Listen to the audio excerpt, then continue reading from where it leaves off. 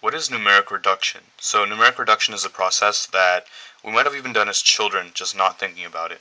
So uh, let's take a number, any number. So let's choose 6,075.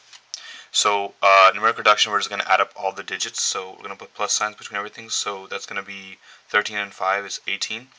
And we're going to keep doing that till we get a one-digit number. So again, you have to add them and get 9. So at this point, we're done. We got 9. So we said that the numeric reduction of 6,075 is 9. Let's try one more time so we just get a feel for this. Let's do 561. We add up all the digits. Uh, we get 11 and 1 is 12. We have to add up all the digits. We get 3. So we say that the numeric reduction of 561 is 3. Also the numeric reduction of 12 is 3. So now that we have a feel for it, let's look at a cool place it shows up. What I've written here is the first 12 uh, Fibonacci numbers.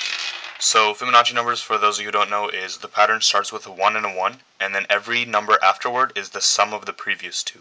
So that means that 2 is the sum of 1 and 1, 3 is the sum of 2 and 1, uh, 34 is the sum of 21 and 13.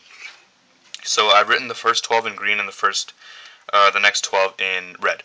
So now let's remove these cards and look at the numeric reduction of the first 12.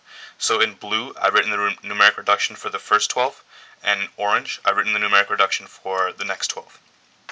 Now what we're going to go ahead and do is we're going to go ahead and add these numeric reductions. We're going to add them. So we're going to get here 9. Here we're going to get 9. Here we're going to get uh, 9. Here's 9. Here's 9. Here's 9. Here's 9. 9. Another 9 here. A 9. A 9. Oh, actually have 18. But if we reduce that, that becomes a 9.